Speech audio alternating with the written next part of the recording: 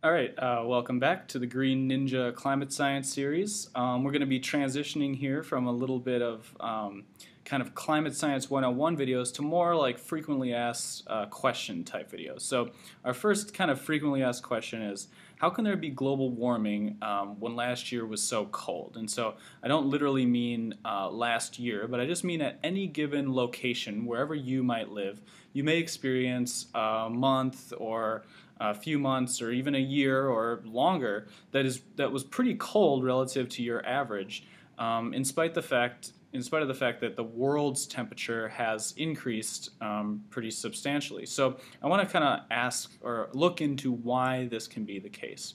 So um, to set this up, I want to show you uh, another graph of uh, globally averaged surface temperature over land. This is from the Berkeley Earth surface temperature data set. And so what we're showing, what they're showing here is from the 1750s to the uh, 2000s, we've seen an increase in temperature of about uh, 3 degrees Fahrenheit. Um, but I want you to notice the difference between uh, the red line, which is a 10-year moving average. So and, uh, each single dot on here is an average of the of 10 years total, versus the 12-month moving average, which um, is showing you the average, you know, for each given kind of year, um, or a moving average for each year. And so what you see is that um, we have these wiggles um, from year to year in the globally averaged uh, surface temperature, and this is mostly due to um, El Nino and La Nina conditions, which we, which we won't really get into. But you can see that um, the wiggles uh, in the globally averaged uh, surface temperature over land are relatively small compared to the overall increase in temperature. So, just to take an example, uh, the coldest years in the 2000s were still warmer than the warmest years in the 1980s because the rate of warming of the long term warming is, uh, is a lot larger than the year to year variability. But what happens is this is not the case at any given location where you might live. And so this gets to the point of um, why, you know, given locations can be cold in spite of the globe getting warmer. So um, just to give you an idea of how this works, uh, let's just take a very kind of basic cartoon look at the Earth's surface. So let's say this is um, water here, and we have some continents here. And let's say that you live right at this point. So um, nobody lives in the global average, right? Everyone just lives at one single point on the surface of the Earth. And so if you live here, um, your temperature is not just, not every single point on the Earth is uh, the same temperature as the global average, right? So what happens is uh, your temperature is controlled by the way that uh, cold and warm air masses might be moving over your uh, given location. So let's say that right now the Earth's temperature, what you're looking at, is 60 degrees Fahrenheit. Um, you know, in this cold air blob, let's say it's 40 degrees Fahrenheit, and in this warm air blob, it's uh, 80 degrees Fahrenheit, and the rest of it is 60 degrees Fahrenheit. And you know, these approximately equal each other, so the average is 60.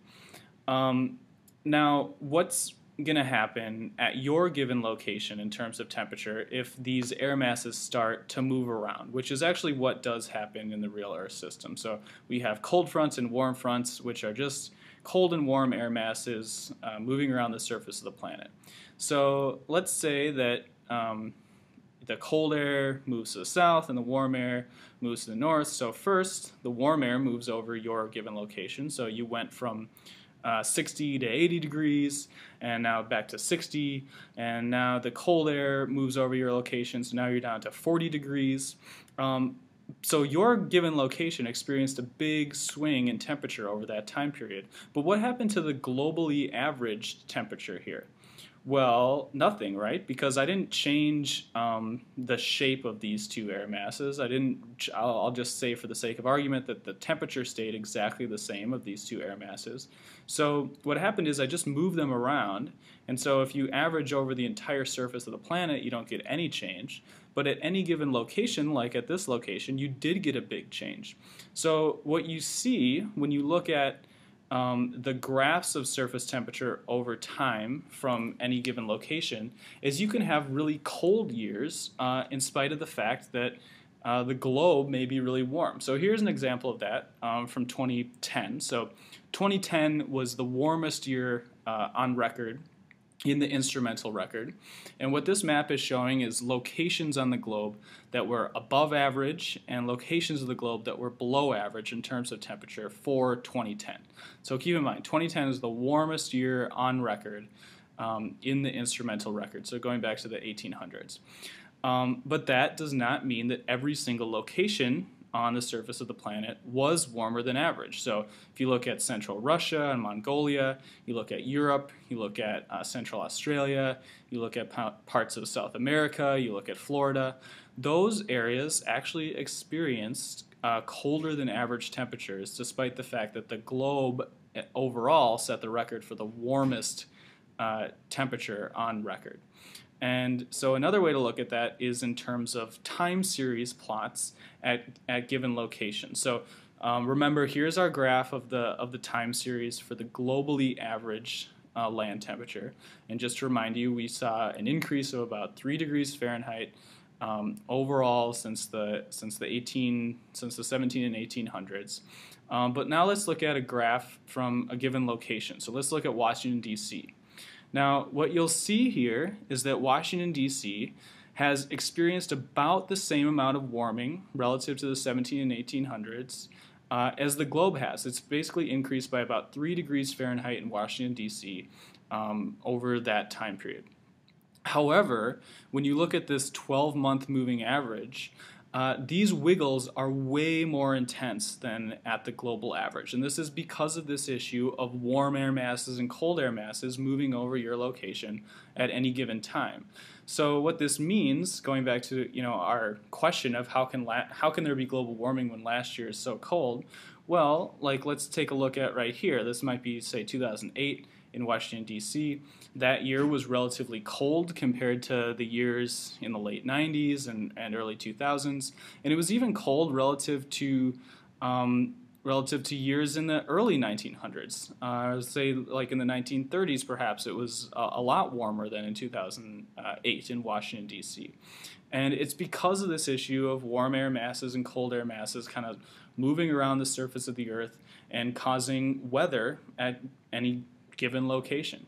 Uh, so it's kind of harder to see uh, the increase in temperature at any given location than it is to see the temperature increase in the global average because when you average over the globe, you essentially get rid of this um, this uh, movement of air around the surface of the Earth that causes these uh, intense uh, wiggles and kind of obscures the global warming uh, signal. So this isn't just the case with Washington, D.C. When you look at all sorts of different um, places around the surface of the Earth, you see that um, overall the temperature increase in Mumbai and Sydney and Dubai and Rio de Janeiro is around 3 degrees uh, Fahrenheit, just like the global average. But the noise, the noisiness of the data, the wiggles in the data are a lot higher in any given location than they are in the global average. So it just means that wherever you live, um, you're perfectly capable of having a pretty cold year uh, any given year, in spite of the fact of long-term warming.